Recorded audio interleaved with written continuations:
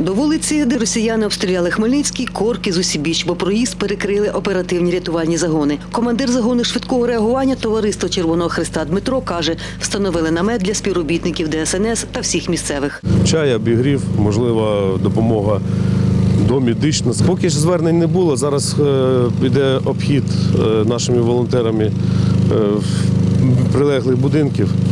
І потім ми вже з'ясуємо, чи є потреба додаткова, чи допомога якась чи ні. Зараз, поки ми займаємося тим, що облаштовуємо цей намет, повністю співпрацюємо з ДСНС. Двірник мікрорайону Любов розповідає, вранці чистила сніг біля будинків і вибухи застали її за роботою. Мабуть, шість. Перші три були такі, як раніше, а останні були сильніші. Технічний працівник одного з навчальних закладів Василь каже, також уже працював, коли почув вибухи. Ну, вибухів за чотири чув. Я от там внизу був, якраз як тут рибал бахнув. Відчули капітально, то таке страшно було. Прямо падали на землю хлопці. Місцевий житель, який не називається, каже, ніколи не ходить в укриття, і сьогодні вранці йому не було страшно. Я не ходжу в укриття, бо я не боюсь. Мешканець будинку на ближній до місця удару та пожежі вулиці Валерій каже, не ходить в укриття, бо воно далеко.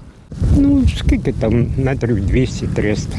Тому каже, під час вибухів був вдома на дев'ятому поверсі свого будинку і добре все чув. Дуже потужно. Чуть дом пішов, там однопод'їзний, то ціле все. Да. Слава Богу, що все ціле. Вибитих вікон або ще якихось ушкоджень у будинках навпроти пожежі ми не побачили.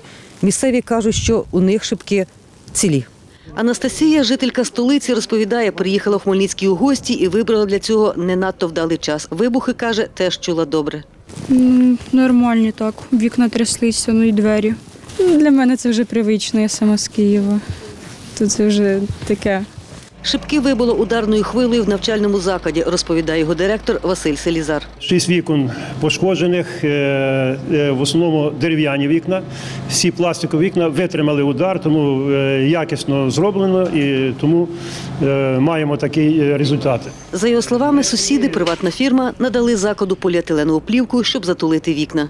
Дали безкоштовно е, плівку. Ми зараз плівкою закриваємо, приймаємо міри для того, щоб посклити. У нас є е, сьогодні запас скла. Перший заступник начальника обласної військової адміністрації Сергій Тюрін про наслідки обстрілів у телеграм-каналі каже. В межах Хмельницької області наші сили ППО збили дві ворожі ракети.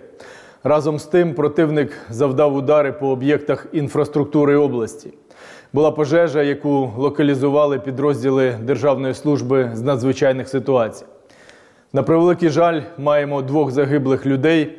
Це чоловіки 1947 та 1964 років народження. Ситуацію прокоментував на брифінгу і хмельницький міський голова Олександр Семчишин. Було незначні пошкодження вікон в кількох будинках, багатоквартирних, індивідуальних. Е, Десь на одному будинку одне вікно в загальному марші в під'їзді, десь балкончик, десь е, вікно в квартирі. Але ця кількість вікон насправді е, в межах 12. Є частина е, об'єктів е, приватного бізнесу, які постраждали більше. Є вигорання на складах і пошкодження значне пошкодження продукції. За його словами, в житлових будинках працюють комісії, які визначають ступінь пошкоджень. Світлана Поробок, Олександр Горішевський, Суспільне новини, Хмельницький.